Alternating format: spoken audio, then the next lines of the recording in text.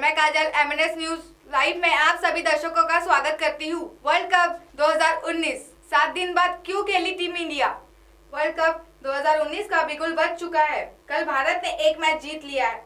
कल खेले गए मैच में भारत ने साउथ अफ्रीका को छह से हरा दिया। इंग्लैंड में चल रहे वर्ल्ड कप 2019 फाइनल मैच में इंग्लैंड में चल रहे वर्ल्ड कप 2019 का फाइनल मैच 14 जुलाई को खेला जाएगा। हालाँकि यह अभी बहुत दूर है। भारतीय टीम अभी तक इस विश्व कप में अपने पहले मैच का इंतज़ार कर रही है, जो कल पूरा हो जाएगा। रिपोर्टर के मुताबिक, पहले विश्व कप में भारतीय टीम का सफ़र 2 जून को बांग्लादेश के खिलाफ शुरू हो रहा, लेकिन बीसीसीआई और आईसीसी से गुजारिश की भारतीय टीम को थोड़ा समय देने की, जिसे आईसीसी ने मान लिया और भारतीय टीम का पहला मैच 5 जून को दक्षिण अफ्रीका के खिलाफ कर दिया, जिसकी बड़ी वजह आईपीएल बताई जा रही है। दरअसल पहले फाइनल 19 मई को होने वाला था कि दोनों टूर्नामेंट कम से कम 5 जून की मैच कराने का आग्रह किया था, जो अब 19 मई को तय हुआ था।